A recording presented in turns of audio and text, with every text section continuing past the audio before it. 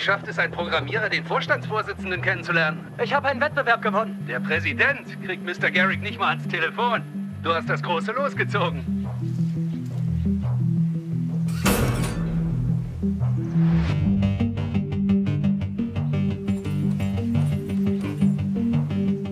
Freut mich, Sie kennenzulernen. Ja, das freut mich auch, Caleb.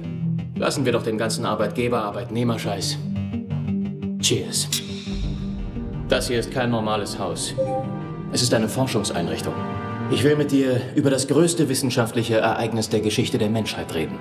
Entwickelst du künstliche Intelligenz?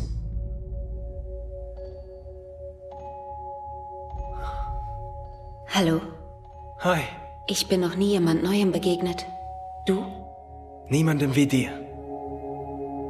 Sie ist unglaublich. Die Herausforderung ist, dass obwohl du weißt, dass sie ein Roboter ist, trotzdem glaubst, dass sie ein Bewusstsein hat. Möchtest du mein Freund sein? Natürlich. Ist es überhaupt möglich? Warum denn nicht? Du hast das Gebäude hier noch nie verlassen. Wir könnten das zusammen machen. Ist sie von dir programmiert worden, mit mir zu flirten? Denkst du an mich? Wenn du lügst, merke ich das.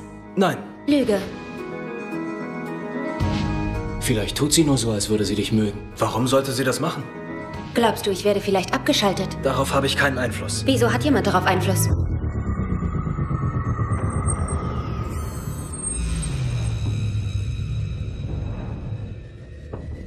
Du darfst Nathan nicht vertrauen. Du darfst auf nichts vertrauen, was er sagt. Es wird das nächste Modell sein, das den wahren Durchbruch bedeutet. Was machst du dann mit dem alten? Du musst mir helfen. Irgendwann sehen die KIs auf uns zurück. Als aufrechtgehende Affen. Dazu verdammt auszusterben. Ist es seltsam, etwas erschaffen zu haben, das dich hasst? Was hast du mit Ava gemacht?